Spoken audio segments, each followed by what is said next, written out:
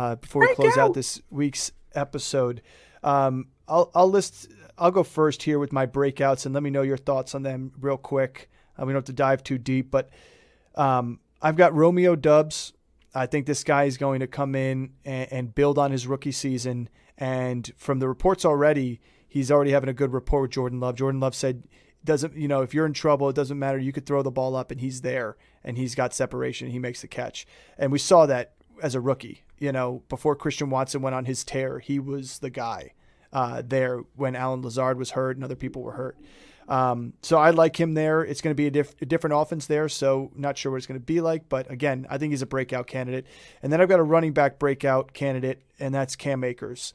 Um, I think now the Rams have done nothing to add uh, to the backfield too much, and I think he's going to find himself as the RB one there.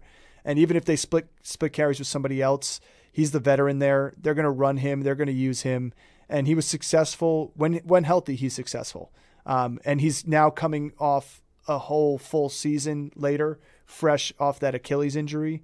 That I, I don't see him. Um, I don't see him having a bad season. I think he you're gonna get him late.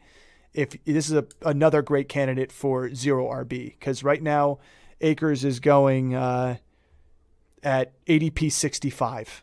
So Yeah, you're he's going, fairly late. you're going zero RB and you're going to load up on wide receivers, quarterback, tight end. You get someone Cam Akers as your RB two or even RB one. Like you roll you roll Connor and Akers right there with those two running backs in a zero RB situation.